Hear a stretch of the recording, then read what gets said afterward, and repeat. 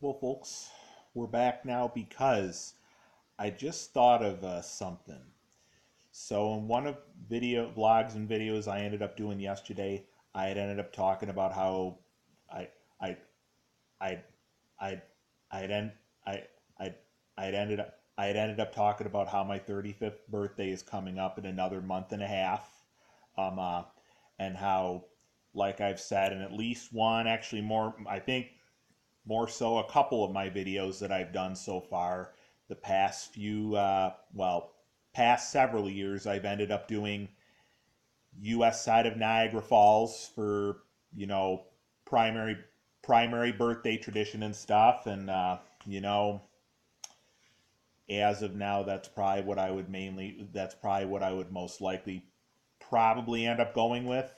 And how in one of, and how in one of vlogs and videos I ended up doing yesterday said how there was some slight bit of thought of perhaps wanting to perhaps do something else this year for 35th birthday celebration and stuff like maybe either um uh, the relatively new Del Lago Casino and Resort for a good part of the day or or even maybe Turning Stone Casino and Resort. Since we did, it sounds like as of now, for right now, get the okay, get get the okay to um, uh, go ahead with uh, following through with that. If we decide that would even in fact be what we what we would like what we would like to do for 35th what for what, what we would like what we would like to do for 35th birthday celebration this year and stuff now, however, one thing that we know that is that is relatively new in the U.S. side of Niagara Falls is relatively new Rainforest Cafe, um, uh, connected to the Sheraton at the Falls Hotel. And uh, the fact of the matter is, you know, they got Rainforest Cafe Arcade. So Yep, they, they've got Rainforest Cafe Arcade there. And uh, I just got done looking up online, mostly on their Facebook page.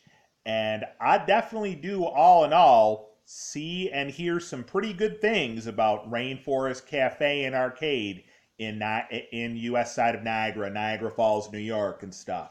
So that's sort of kind of actually stealing me away a little bit from the other kind of ideas. I mean, again, obviously not going to close the door on perhaps having Del Lago Casino and Resort in the brain or having Turning Stone Casino and Resort on the brain and stuff. But a lot of the great things that I'm seeing about Rainforest Cafe, Rainforest Cafe and Arcade Rainforest Cafe Arcade, Rainforest Cafe Arcade in U.S. side of Niagara, Niagara Falls, New York, is sort of steering me away from from having Del Lago Casino and Resort and Turning Stone Casino and Resort so much on the brain. You know, I mean, you know, Rainforest Cafe and Arcade in U.S. side of Niagara, Niagara Falls, New York, I think would definitely I think would I think would definitely even even things off for 35th birthday celebration for sure in U.S. side of Niagara Falls and in, in Niagara Falls in Niagara Falls, New York in in Niagara Falls, New York.